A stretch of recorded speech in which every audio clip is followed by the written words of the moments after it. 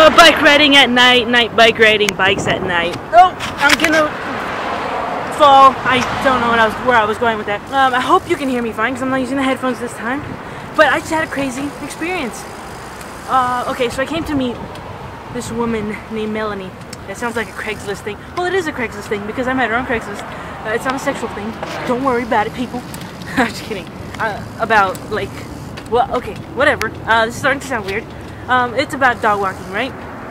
Um, we went we went on like a like a little test walk uh, because um, you know wanted to see how how how the how hyper the dog was and stuff like that.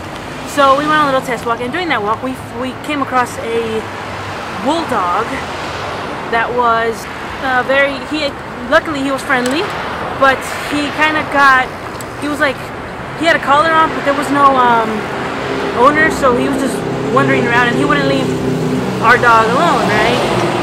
And so I really hope you can hear me because of all the traffic next to me over there. So yeah, the dog wouldn't leave us alone. So I told her, you know, I'll, I'll grab him. So she kind of kept still with her dog so that the other dog could kind of keep still. And because we didn't want him to get aggressive or anything. So then I just grabbed him by the neck and by the collar, make sure he didn't bite me. And then I just walked him down the street and then uh, I saw a lady in her car with her son. The son said uh, that the dog lived right there in that corner house because I asked after I asked them. So I kind of waited around there for a few minutes. I didn't see anyone in the house. Like I knocked and kind of called someone, but there was another dog, so I couldn't really get to the door. The dog looked mean. Uh, so you know, I'm still holding on to this dog who's pulling and tugging, and then cops pass by. I wave them down, and uh, then, then my arm starts cramping, and I hope I didn't run out of memory. No, I didn't. I keep I'm still going. All right, so my arm, no, not my arm. The dog, you know, the the cops come and they they knock on the door. This guy across the street tells me that the dog belongs across the street to the house that I was at, but there was nobody there. The cops come.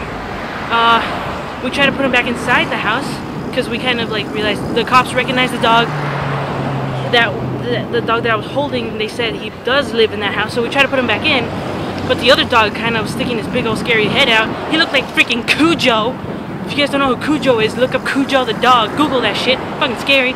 So the other dog kind of looking like Cujo except all black he um trying to come out poke his head out and the other the you know the the pip no not pit bull uh it's like a Rottweiler I think I'm not can't remember but um he tries he doesn't want to go back in. And then he kind of escapes off of our leash off of our hold and goes on and runs.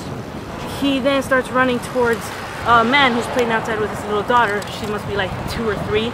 And the guy freaks out grabs his daughter runs her inside the house. The dog is friendly, but still, you know, a big scary dog like that running at you, it's scary, especially if you have a little kid there. So he runs inside the house. He's like, put that dog on a leash. I'm like, it's not my dog. I'm sorry. I'm sorry this happened, but it's not my dog. I just found him. And then the cops come and he's like, oh, I'm sorry. But, you know, I was out there with my kid and and we were like, yeah, I know. So we grabbed him. The cops took him and they're like, well, we'll take him in. And uh, I hope, you know, uh, he probably jumped the fence, so I don't understand why. I mean, you should be able to tell if your dog can jump the fence that it's being held in.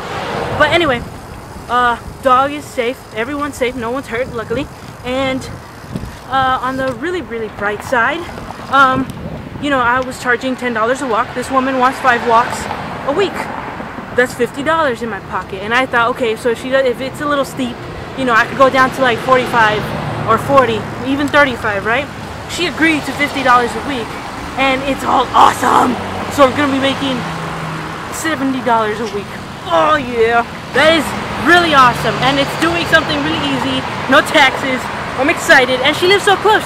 Like I've been vlogging this whole time. That's literally like the distance, and I'm I'm like across the street from Denny's. That's the school where my little brother goes to, and I live just like down the street. So it's like a mile away, which is awesome. And the other one's not that far, but it's farther. But still, awesome, right? I know.